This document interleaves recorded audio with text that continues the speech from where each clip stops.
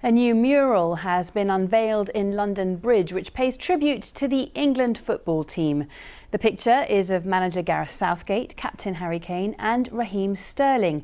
It's accompanied by the words, You did us proud. Michael Mackenzie has been to meet the artist behind the work.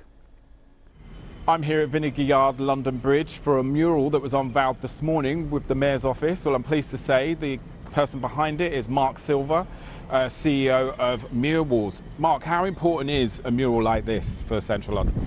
I think it's really important. I think it's really important that we are showing Gareth and the team that we're behind them, that we are standing tall, and we're just proud of what they've achieved. So I'm seeing Southgate, Kane, Sterling. Yeah.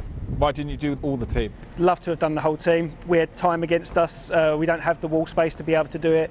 So what we had to do was to kind of pick out the key characters that did show the whole squad. Every single one of them players in that squad in the team deserve to be on this wall. This is a tribute to all of them. Are you not worried that the mural might get graffitied like some of the murals across the country? We've done murals up and down the country. We've done a beautiful one on the front of Gainsborough High School not long ago of Marcus Rashford, and uh, the people of that community in London have, have respected it. I hope it stays that way. Obviously, disgusted to see what's going on, some of the vandalism. Um, but for me, it shouldn't stop us doing these things. It's important that we carry on doing and rise above it. And the people that have got together, especially up in Manchester, that have actually come together from this is the positive message.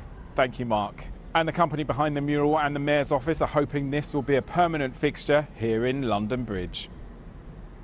Michael McKenzie reporting there.